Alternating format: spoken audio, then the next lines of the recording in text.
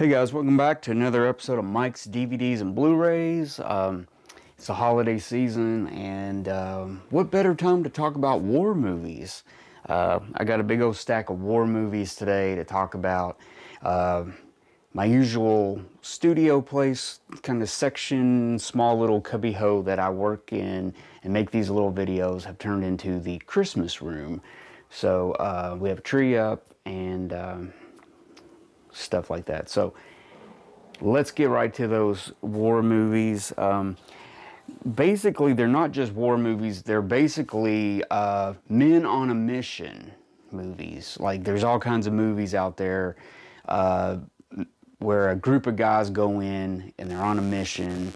Uh, say The Dirty Dozen is a good example. Uh, usually they revolve around an army uh, group, maybe a group of uh, like really bad soldiers or something, their last chance, you know, put them together like the Dirty Dozen.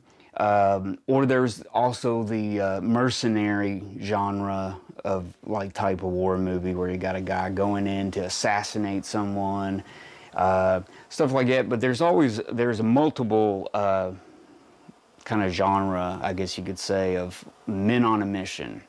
So some of these are, um, I guess you could say they're just straight up like war movies, I guess, but they're all they're all mission related. It's not just guys on a battlefield. So let me stop talking and get right to it. Um, the first movie I want to show is a movie. I want to make sure I'm saying the right time. It came out in '65. It's directed by one of my favorite directors, Anthony Mann and uh, it's called The Heroes of Telemark, and um, has Kirk Douglas in it, uh, Richard Harris, and uh, it's got Michael uh, Redgrave in there. Uh, really good movie. Um, basically, they're going in, they're uh, trying to get a scientist out of a Norwegian laboratory where he's developing heavy water, which you know is a critical element to making nuclear weapons. So it's kind of like they're stopping the Nazis before they develop nuclear weapons towards the end of the war and everything. So they're uh, kind of dropped in and they do a mission. But it's a great movie, The Heroes of Telemark.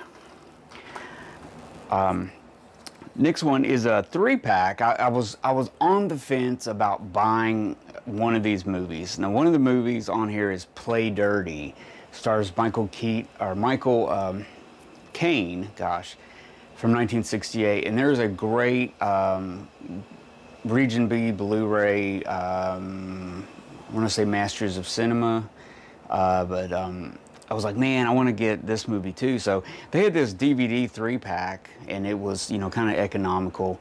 Um, but uh, the movie Play Dirty, which was a movie I've never seen before, um, you know, it's about a World War II squadron of ex-criminals. Um, they're ordered to destroy this North African outpost. So they're all put together, and Michael Michael Caine is kind of uh, he's kind of a notch above these guys. So he kind of gets stuck with this group, and he's trying to do everything by the book and he learns that you know he's going to have to do it the hard way. So where the title comes, play dirty, he's going to have to really do it a different way to get to get the mission done. So it's a great movie, Play Dirty. Um, next movie, The Dogs of War, another great movie. Um, I was on the fence about buying. A great movie with um, uh, Christopher Walken, uh, 1978. Um, was that directed by John Ir- Irvin? Uh, it's basically a uh, Frederick, uh, uh was it Frederick Forsyth, uh, best-selling best-selling book, whew, tongue twister, um, about a, a, gang of mercenaries hired by a shadowy cartel to dethrone an African dictator. It also has Tom Berenger in it. It's really good. Um, and um, finally, on this one right here, uh, the Purple Plain with Gregory Peck. I wasn't really sure about it, but it, it's a pretty good movie. It's a pretty good, it starts out really good and then it kind of stops. And it kind of turns into a love story. you know, it's about kind of it's about a pilot who's kind of shell shocked, so to speak. He's you know, he gets in the plane and he wants to like almost dive and stuff. He's like hallucinating, you know, he's shell shocked basically. So he ends up he ends up on this island um, that's in the English territory, part of World War II, one of the island outposts, and. Uh, kind of falls in with this this native girl, kind of falls in love, and, and it started with a love story, and then I basically just like, eh, I pulled I pulled the trigger, man. I, I, I, was just out. So maybe I will rediscover it sometime. But uh, it's got, it's got Gregory Peck in it, which he's always good. Directed by Robert Parrish. Um, he's uh, he's no slack when it comes to directing movies. So yeah, I recommend this. It's this three pack action. Um, you can find it most places.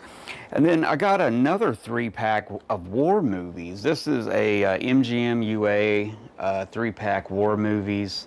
Uh, it's got the Battle of Britain, Force 10 from Navarone, uh, the McKenzie Break, and um, I had never seen the McKenzie Break or the Battle of Britain. Well, actually, I did see the Battle of Britain, but the real the real good one on here was the McKenzie Break. I, I, I have never seen it. It was a great POW camp movie.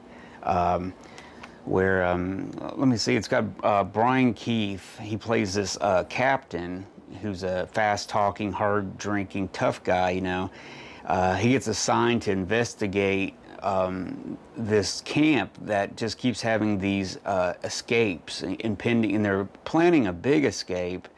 Uh, it's a group of German POWs, and um, he's trying to get to the bottom of it. And there's a lot of stuff going on. These guys are just evil. These Nazis are the like they're just. Whew. So he, I don't know. It's a great movie. I don't know how I've never seen it. Um, it came out in 1970, uh, and it's directed by Lamont Johnson, which I was like, I don't know. But Force 10 from Navarone is basically the sequel of sorts to um, The Guns of Navarone. But uh, it's it's an interesting movie. It's really good. It's it's definitely the prototype for the Men on a Mission um, movie that I'm kind of the basis of this. So you have to include 10 from Navarone. They kind of they're going to go in, destroy this uh, uh, dam to uh, flood out the the Nazis were doing some blah blah blah. But it's it's a great movie, pretty good. I mean, slam bam, thank you, ma'am. It's a two hour movie. Uh, Harrison Ford and um, let's see who's all in here. Robert Shaw, who you might know from uh, I think Jaws, right? Robert Shaw. No, no, not Robert. Maybe. Uh, it's got Bob, Barbara Bach, uh, Edward Fox, and Franco Nero is in it. Uh, and it's uh, directed by Guy Hamilton, which is a James Bond director of many movies. And uh, the Battle of Britain is a 132 minute uh, war story about the Battle of Britain. Uh, basically, a lot of air battles. It, it kind of covers the Royal Air Force during the Battle of Britain and um, stuff like that. So it's it's really good. Um, it's, it's it's got a good cast. It's a Harry Saltzman production, so another James Bond alumni, directed by Guy Hamilton again. But it's got a big cast. It's got uh, Michael Caine returns to this one, Harry Andrews, uh, Trevor Harrell, Howard, Kurt, Kurt Jurgens, Ian McShane, uh, Laurence Olivier, Christopher Plummer, Michael Redgrave returns to this, Ralph Richardson, Robert Shaw returns to this one. Susannah York, Patrick Wymark. It's got a big cast of British stars. So, again, this is another economy pack that you can get like on Amazon, um, probably for under 10 bucks. I can't remember how much it was. It wasn't very much. Um, but this one kind of splits them up into one of them has two movies on one disc, which kind of kind of packs it all in there. But but maybe one day I will get the uh, deluxe Play Dirty uh, Region B release or Masters of Cinema, I believe, because that's a great movie. I really like it, and I'd like to find a great release of the McKenzie Break, because that was a great movie. Uh, next up, I got a two-pack edition of war movies. Uh, this one has the Devil's Brigade, Brigade, and the bridge at uh, Remagen. Remagen. I always, I always pronounce, I always say Remagen. Uh, these were both uh, David Wolper uh, productions. Uh, Devil Brigade, um, I was on the fence about getting the Kino uh, Classics Blu-ray release of it, and um, I just couldn't find one. I wanted to get it for under $15. I just couldn't find one, so I, I was like, well, let me kill two birds with one stone. Let me get this movie because Bridget uh, Remagen is pretty good, so I got got both of these. But the Devil's uh, Brigade has William Holden. He's a heroic, cool, under fire performance, give, or gives a heroic, cool, under fire performance as the leader of World War II renowned 1st Special Service Force in a fact-based battle-filled saga that also stars Christopher, Christopher Cliff Robertson. Oh man, I have totally missed this one up. I'm so sorry.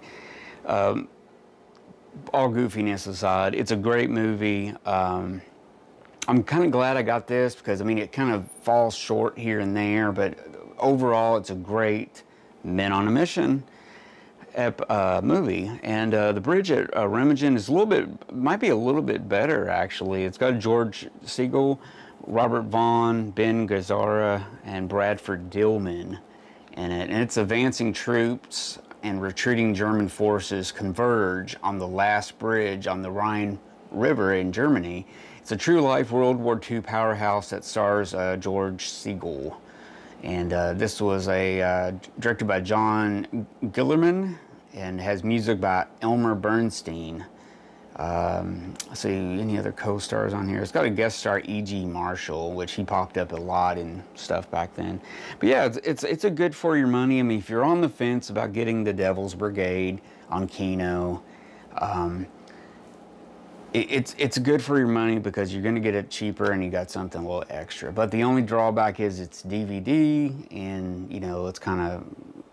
I think they're both on one disc. Yeah, they're both on one disc, which they're squeezing a 132 minute and 117 minute movie onto one disc. So you're going to lose a little bit of image and noise and they're going to have some issues there.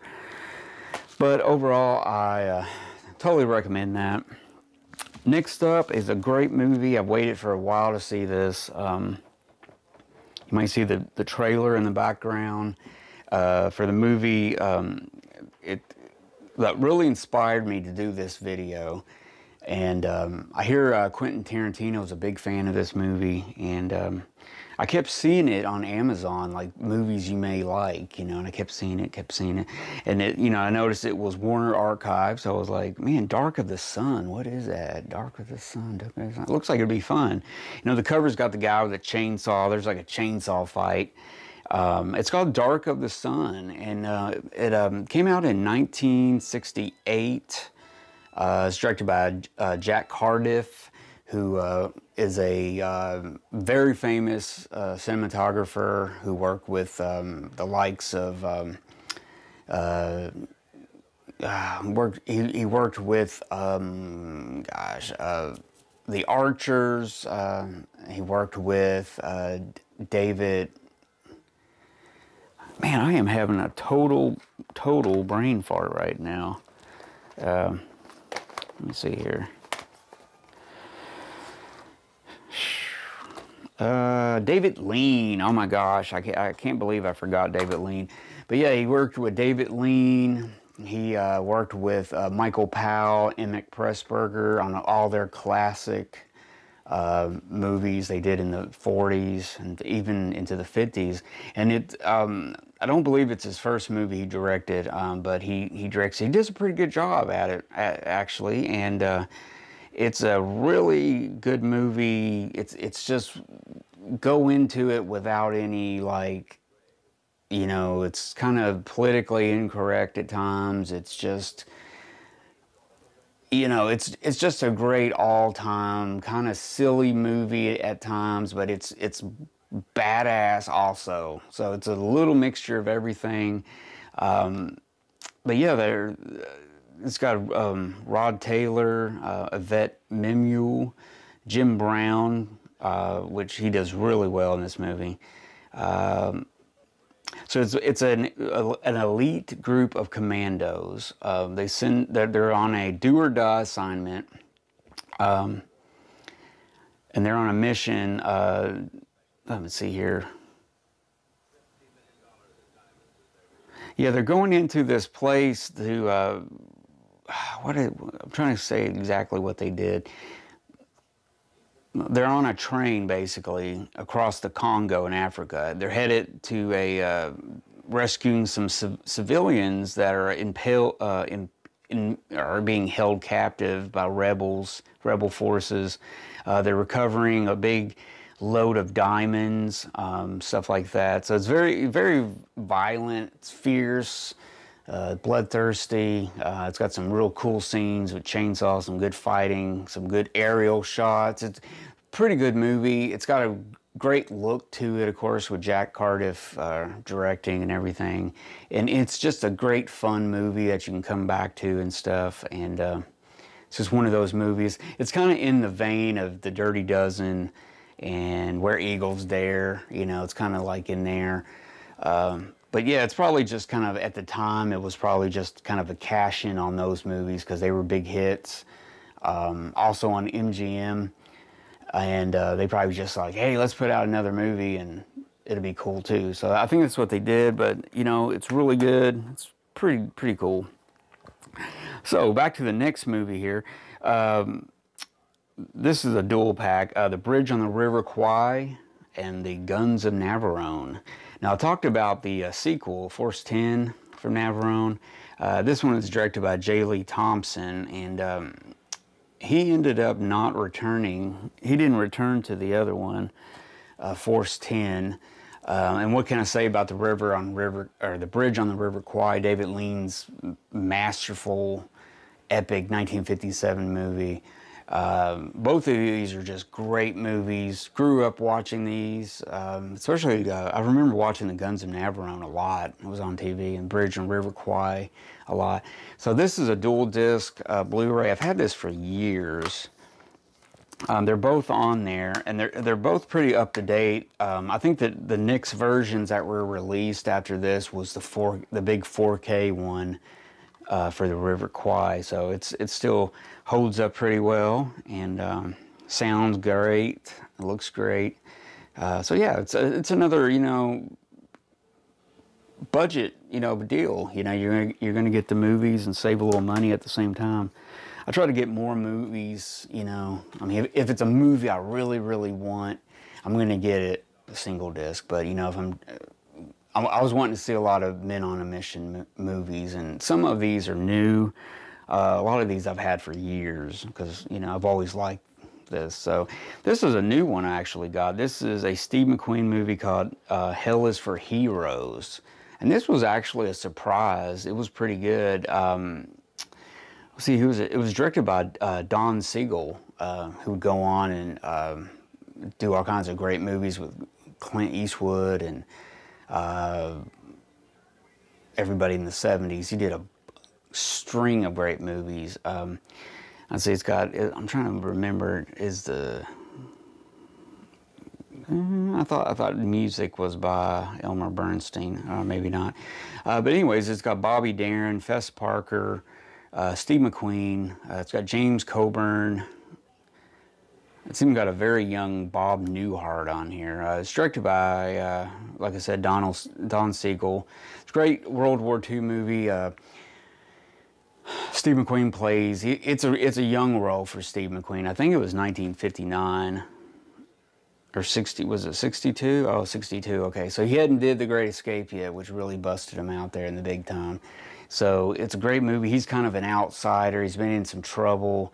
Um, they kind of put him with this group, and uh, the group is kind of some messed up guys, you know, and there's a sergeant or, or a major. Somebody's trying to lead, get this group together, get them together, move them forward to do this. and uh, they're trying to get Steve McQueen to really come in, come in with the group, you know, and stuff. And, and, of course, he rises to act, rises to the part when he needs to be the hero, and proves himself to be, you know, you know, a hero. So it's it's a great, you know, um, great movie. They another kind of men on a mission, so to speak. But they're actually just um, it's a military war movie where they're just doing, you know, a mission. But it's not like a mercenary mission. But yeah, it's a great movie. Highly recommend this. This is a DVD version. I'm not sure if it's on Blu-ray, but you can get this really cheap. Uh, next up is a three-pack from uh, Warner Brothers. Uh, it's got Operation, or Objective Burma, I'm sorry. Never So Few and Go for Broke. Now, this is great. I've seen Go for Broke a long, long time ago. It was one of the first older war movies I saw. It's really good. Uh, Never So Few, Frank Sinatra, um, and uh, Steve McQueen returns. Got Peter Lawford in it. Uh, uh, Brian Donlevy is always cool, and uh, it's directed by John Sturges. And uh, it's a it's a pretty solid war movie. It takes place on an island. it's kind of out in the Pacific. Um, and the other one, Objective Burma, is a really good movie with um, oh gosh, what's his name? Errol Flynn, jeez. Errol Flynn, directed by Raoul, Raoul Walsh. And uh, great Warner Brothers movie. Man, when, when did this come out? Oh, Lord my, I I can't really tell. I think it was I think it was like 43 or something like that. But anyways, yeah, it's another cool triple feature. Uh, this one is two discs. Uh, one disc has two movies, one has its own disc, so pretty cool. I will return in a minute after this small. Hey guys, welcome back. Um, I just stopped for a minute. Um, I remembered a movie um, I wanted to show in this group. So um, I got this recently another multi-pack. I should just call this multi-pack Men on a Mission movie DVDs and Blu-rays. This is called Classic War Films. This was released through Mill Creek Entertainment, which they've been releasing some really good multi-packs. Uh, this one's got Bitter Victory, The Prisoner, Commando Strike at Dawn, uh, Castle Keep, and Young Winston.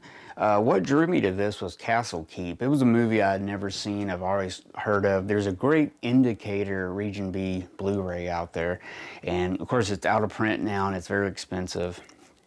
So um, what I did was I got this and um, for this movie and I watched it. I was like, oh man, it just it kind of lost me. It's it's kind of psych. It's it, it was made kind of during 1969. It has, it's not your typical war film. It's hard to explain, so I'm not even going to explain it, but it's different. Let me just put it that way.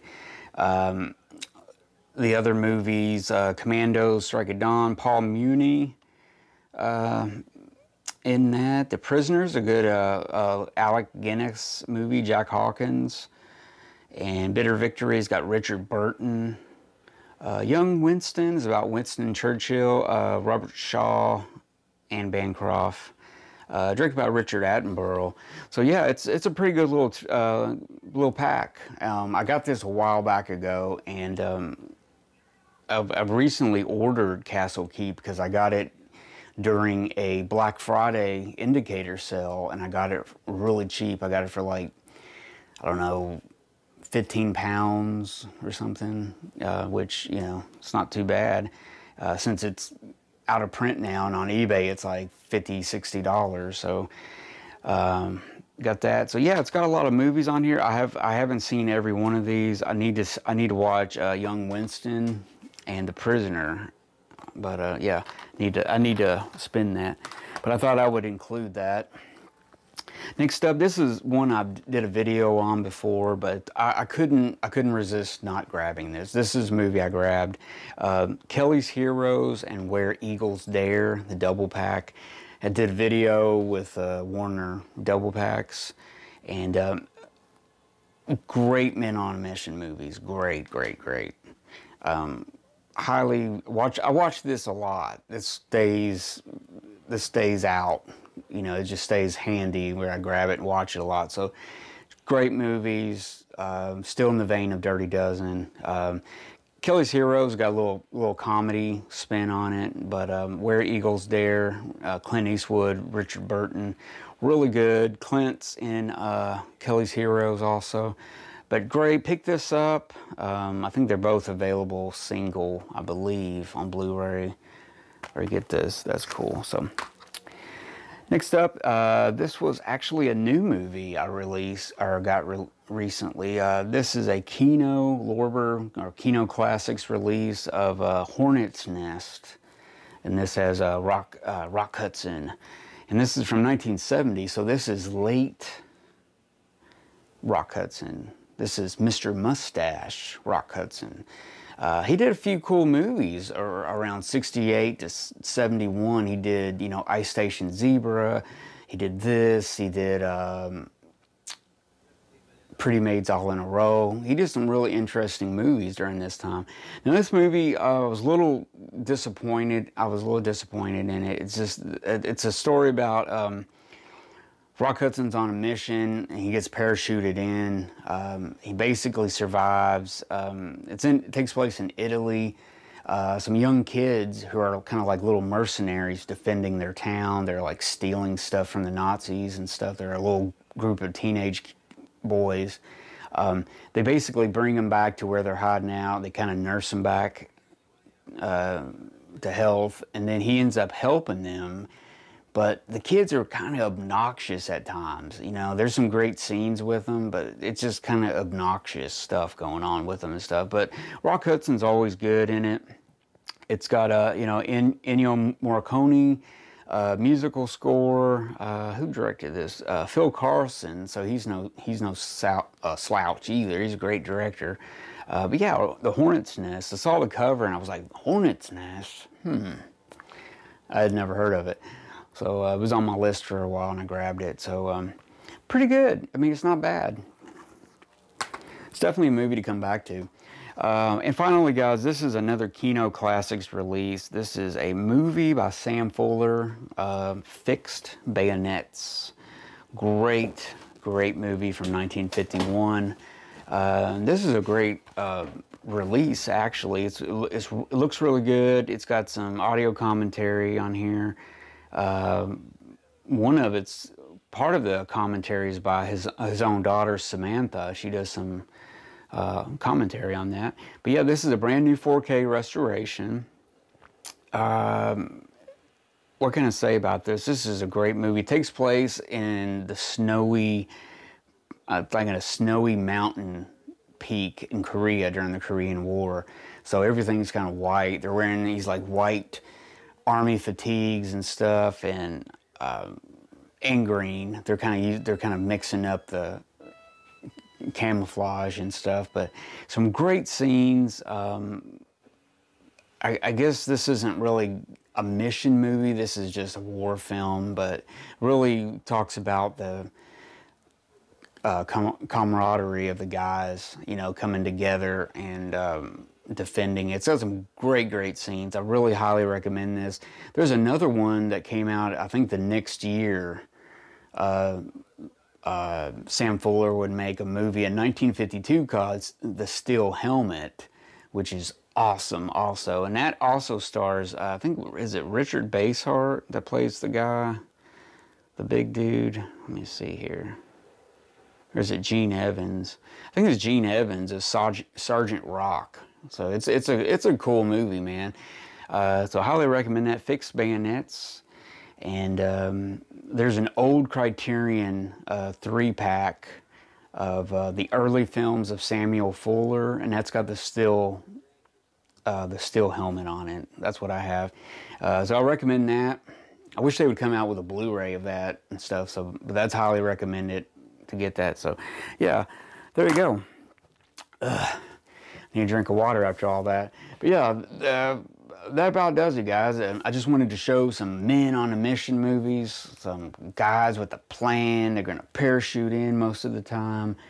and they and they're gonna work to it. A lot of times it's about the um, the underdogs, the guys that were counted out, that were through in jail, the guys that messed up big time, and they were just gonna be they were just going to be booted out of the army, you know, discharged, and they were going to this, but they were given another chance to do a mission. So a lot of these kind of deal with that premise and stuff. So it shows that you know you can redeem yourself and you know stuff like that. So, but but those movies have a lot of good directors, a lot of good stars in it.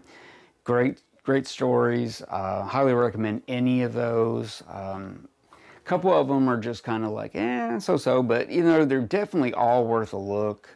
Uh, especially, you know, like Hornet's Nest, good movie, worth a look. It's not a tremendous movie, but it kicks butt at times. Uh, so, but that's about it, guys. Um, about war movies. I think I have some more, but I, I, just I grabbed a few stacks. I had some new ones too, so uh, that's about it, guys. So if you haven't already subscribed to Mike's DVDs and Blu-rays collection, go ahead and subscribe today. Hit the bell to be notified when I release a new video. And um, also comment, what, what, what do you think about these movies? You got any ideals? Any of them, did I leave any out is what I'm trying to say. Um, because there's tons of movies like that. Uh, and... Um, just give me a comment and uh, if you like this episode give me give me a thumbs up. I just kind of threw it together today. Um, um, I, I, was like man should i do a men on a mission video? I'm not sure. Hmm. so i kind of got some stuff together. So i hope you liked it. Um, and um, that's about it. So uh, if you're watching this before the holidays merry christmas happy hanukkah happy kwanzaa happy happy happy happy and everybody be safe out there. And I will see you guys in a new episode soon. Take care and bye bye. Kick the camera.